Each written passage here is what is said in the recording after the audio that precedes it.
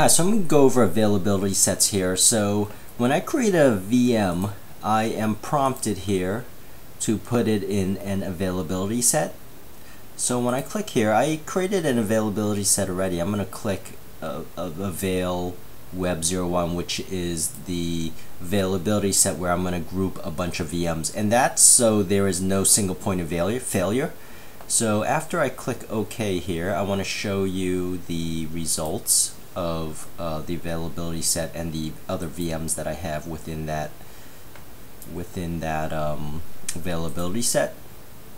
So I'm going to click OK. I'm going to have it deploy the VM that I just created. So once I create the VM in the availability set, I am not able to um, put it into other availability sets and, and I'll explain that a little bit later.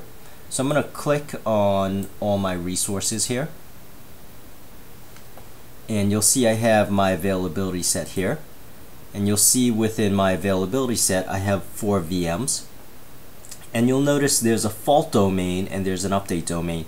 Now the fault domain is the power plug or the switch that is shared between these numbers. So you notice if I sort here, Firestar and Silver Surfer share either a power supply or a power source and a network switch, meaning that if that network switch or power supply failed, these two these two VMs might likely fail. However, because my Firestorm and Iron Man VMs are on different fault domains, they will continue running. So that gives you high availability.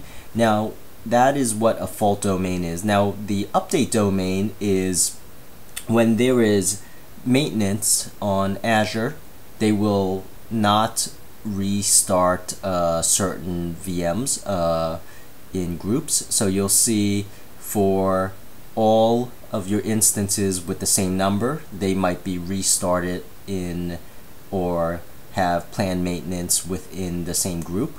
So I have two VMs here under update domain and they are one and one. So those, uh, there is a possibility that those will have maintenance uh, under Azure within the same group, whereas 0 and 2 will not. Uh, so that's what your update domain is, is if there is any maintenance, uh, it is done within these groups. Now, when I assign a VM to a availability group, these numbers are automatically assigned.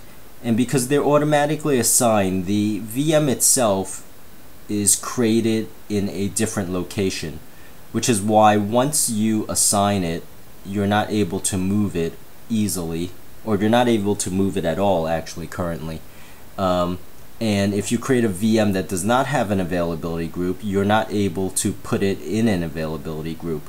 So you have to put a VM in an availability group when you're creating it. So that's really what availability groups are. Now, after I've done an availability group, I can actually put it in a load balancer.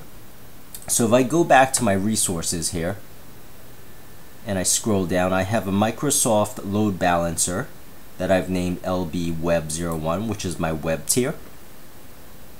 And I've assigned the, if, if I click on the back end pools, you notice I assign one availability group to the uh, VM and uh, I mean to the load balancer and I've assigned the three VMs on the load balancer only one of which is running but uh, there are actually three VMs so so this uh, availability group allows you to assign it to a load balancer which evenly distributes uh, some of the traffic across your VMs.